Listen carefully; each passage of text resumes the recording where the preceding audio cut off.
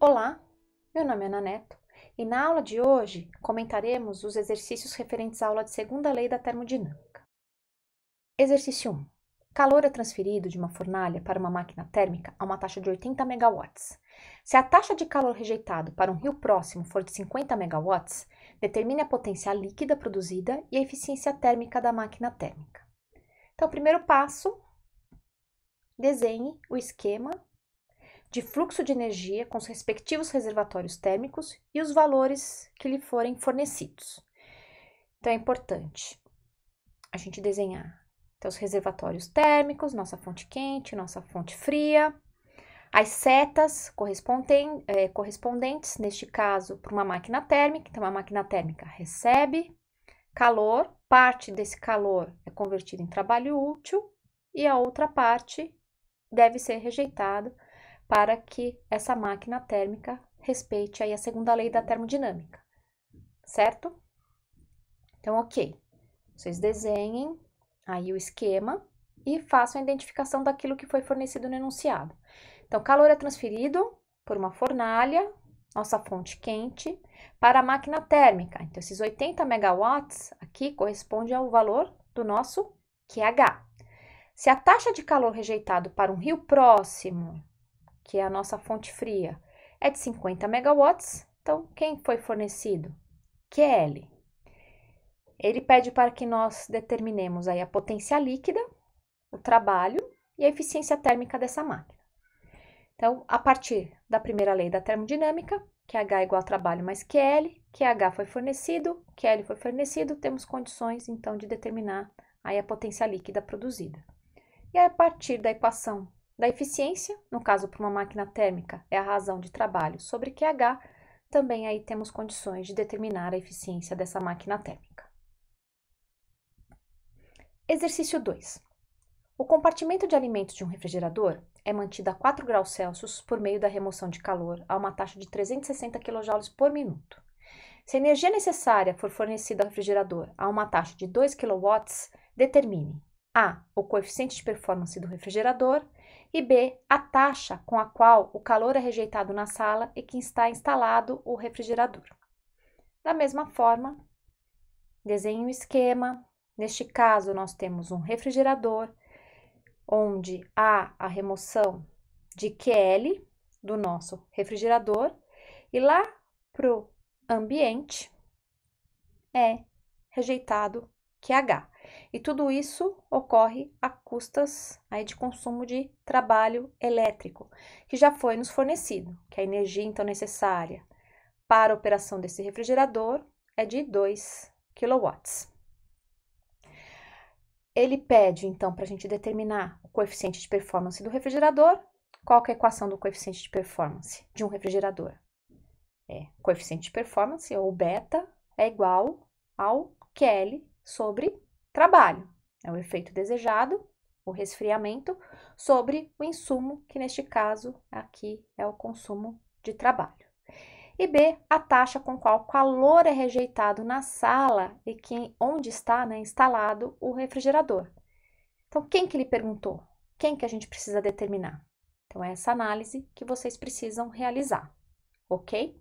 Ah, e não se esqueçam de converter aqui, porque foi nos dada a informação de remoção de calor do compartimento de alimentos. Então, aqui está o nosso compartimento de alimentos. Então, esse 360 kJ por minuto representa quem? Já foi dada aí a dica. E converter o valor para quilojoules por segundo, ok? Exercício 3. Uma bomba de calor é utilizada para atender às necessidades de aquecimento de uma casa, mantendo-se a 20 graus Celsius.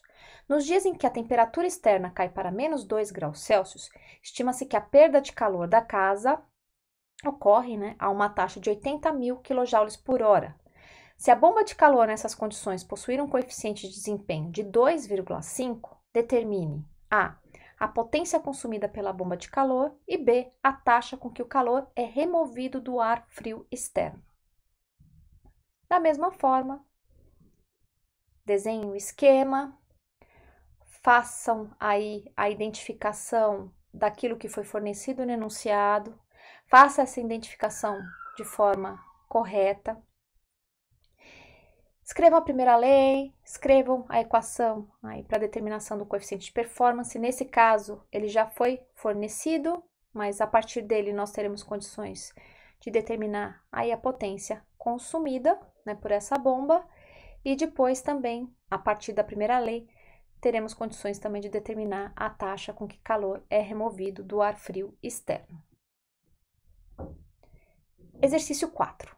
Uma máquina térmica de Carnot recebe 500 kJ de calor por ciclo de uma fonte a temperatura de 652 graus Celsius e rejeita calor para um sumidouro a uma temperatura de 30 graus Celsius. Determine a eficiência térmica dessa máquina de Carnot e B, a quantidade de calor rejeitado para o sumidouro por ciclo. Da mesma forma, desenhe o esquema, é uma máquina térmica, ela recebe calor, parte é convertida em trabalho útil, a outra parte deve ser rejeitado.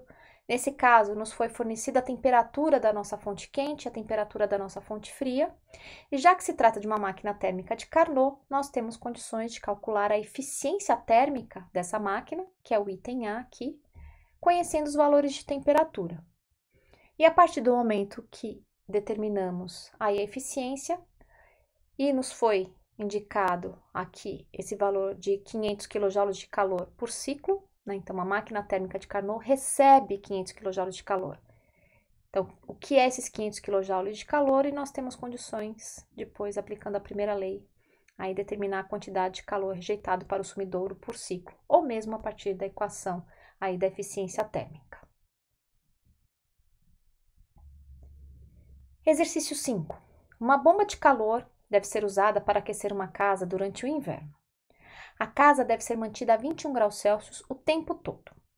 Supõe-se que a casa esteja perdendo calor a uma taxa de 135 mil kJ por hora, quando a temperatura externa cai a menos 5 graus Celsius. Determine a potência mínima necessária para operar essa bomba de calor. Então, da mesma forma, desenhe o esquema para uma bomba de calor, escreva a primeira lei, escreva a equação do coeficiente de performance e, nesse caso, tem essa informação de que é para você determinar a potência mínima necessária para operar essa bomba de calor.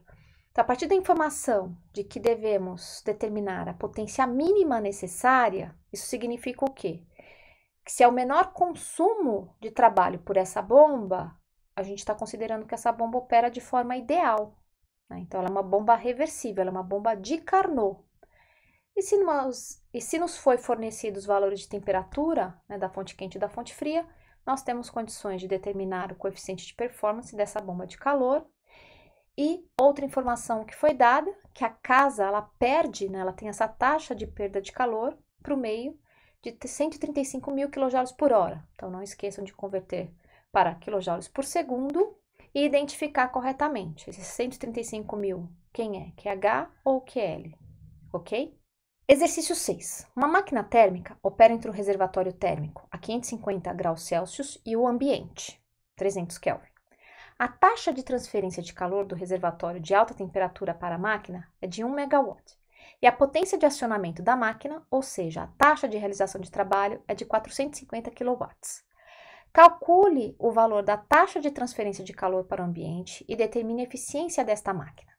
Compare este valor com o relativo a uma máquina térmica de Carnot que opera entre os mesmos reservatórios.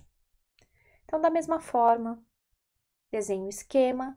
Neste caso, para uma máquina térmica, você tem os valores de temperatura da sua fonte quente, da sua fonte fria, algumas informações né? A taxa de transferência de calor do reservatório a alta temperatura, então é lá da nossa fonte quente. Então, o que, que significa esse 1 megawatt? E a potência de acionamento da máquina, ou seja, a taxa de realização de trabalho de 450 kW. Então, o que, que são esses 450 kW? Então, calcule o valor da taxa de transferência de calor para o ambiente. Então, ele está perguntando justamente aí para nós o valor de QL e determine a eficiência desta máquina e depois compare este valor com aquele da máquina ideal operando entre os mesmos reservatórios térmicos. Então, seria da máquina térmica de Carnot.